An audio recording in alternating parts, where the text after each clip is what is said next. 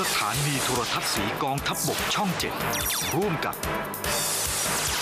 บริษัทไทยประกันชีวิตจำกัด มหาชน และคณะแพทยศาสตร์ศิริราชพยาบาล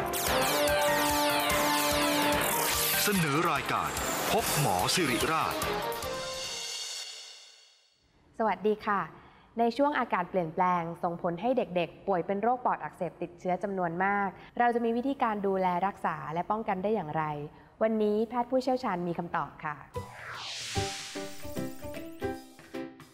โรคปอดอักเสบติดเชื้อในเด็กมีสาเหตุมาจากอะไร โรคปอดอักเสบติดเชื้อหรือโรคปอดบวมนะครับ เกิดจากการติดเชื้อในถุงลมปอด ซึ่งเชื้อดังกล่าวอาจเป็นได้ตั้งแต่เชื้อแบคทีเรีย เช่นนิวโมคอคคัสฮิปหรือไมโครพลาสมาหรือเชื้อไวรัส เช่นไวรัสไข้หวัดใหญ่หรือ RSV จะสามารถผ่านเข้าสู่ปอดของผู้ป่วยโดยตรงทางการหายใจ หรือมีการแพร่กระจายทางกระแสเลือด หรือผ่านการสูดสำลักก็ได้ครับ โดยเด็กที่เป็นโรคปอดอักเสบติดเชื้อ จะมีอาการไข้ไอมีเสมหะหายใจหอบเหนื่อย ในกรณีที่มีอาการรุนแรงอาจพบน้ำหรือหนองในช่องเยื่อหุ้มปอด หรือมีภาวะการหายใจล้มเหลวตามมาได้ครับ โรคปอดอักเสบติดเชื้อในเด็ก มีวิธีการดูแลรักษาอย่างไร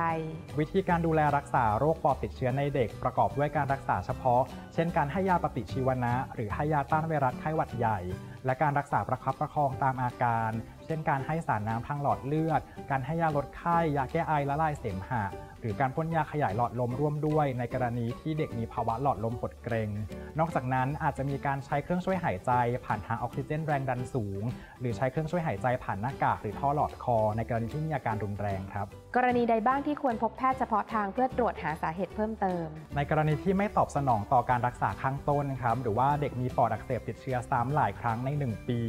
อาจต้องมีการตรวจหาสาเหตุเพิ่มเติม สาเหตุที่พบบ่อย เช่นการสูดสำลักอาหาร การมีโครงสร้างของหลอดลม หรือว่าเนื้อปอดที่ผิดปกติ การมีภาวะหลอดลมไวหรือเป็นโรคหืดร่วมด้วย โดยผู้ป่วยในกลุ่มหลังนี้มักจะมีอาการไอและหายใจหอบเหนื่อย ตามหลังการออกกำลังกาย การสัมผัสอากาศเย็น แล้วก็มีอาการหอบยาวนาน ภายหลังการติดเชื้อทางเดินหายใจเมื่อเราหาสาเหตุแล้วเราจะได้สามารถให้การรักษาได้ตรงจุดต่อไปครับ โรคปอดอักเสบติดเชื้อในเด็กเป็นโรคที่พบได้บ่อย และในกรณีที่มีอาการรุนแรง อาจทำให้เกิดภาวะการหายใจล้มเหลวได้ เราจะสามารถป้องกันบุตรหลานของเราได้อย่างไร ช่วงรักสุขภาพวันนี้เรามีคำตอบมาฝากกันค่ะ ป้องกันบุตรหลานจากโรคดังกล่าวได้ โดยการหลีกเลี่ยงการพาบุตรหลานไปยังสถานที่ที่มีคนแออัด หลีกเลี่ยงการสัมผัสควันบุหรี่ ปัจจุบันยังมีการพัฒนาวัคซีน เพื่อป้องกันเชื้อก่อโรคของภาวะปอดอักเสบติดเชื้อ จึงแนะนำให้ผู้ปกครองพาบุตรหลานไปรับวัคซีน และหากเด็กเริ่มมีอาการ ก็ควรพามาพบแพทย์โดยเร็ว เพื่อจะได้รับการรักษาได้อย่างทันท่วงทีครับ สนับสนุนโดยบริษัทไทยประกันชีวิตจำกัด มหาชน